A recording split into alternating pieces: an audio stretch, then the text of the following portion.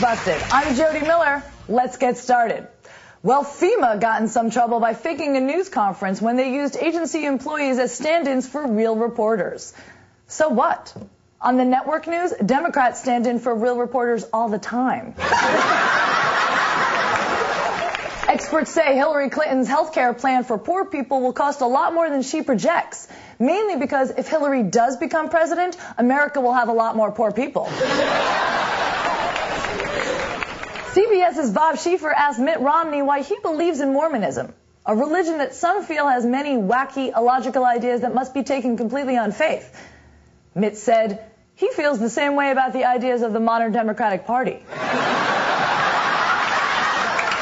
People are questioning New York Governor Eliot Spitzer's plan that gives illegal aliens driver's licenses in light of the news that eight of the 9-11 hijackers were registered to vote because they too had driver's licenses. More chilling, they had registered to vote with the Jihad Party.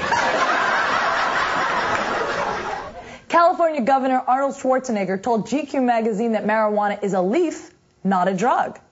He also told them steroids aren't just for breakfast anymore. a Middle Eastern toy manufacturer has introduced a new Barbie doll that wears authentic Muslim clothing. The doll is so authentic that when Barbie takes off her burqa, Ken stones her to death. While commenting on lethal injections, a CNN analyst said, perhaps killing by the state is not humane at all. The analyst then suggested replacing the death penalty with being forced to watch nonstop commentary by CNN's own Jack Cafferty. and finally, TV's Dog the Bounty Hunter, Duane Chapman, apologized after a taped phone call in which he repeatedly used the N-word was leaked to the public.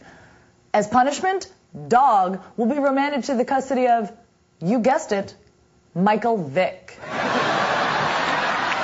Thanks for watching News Busted. I'm Jodi Miller. Be sure and subscribe to our videos on YouTube. We'll catch you next time.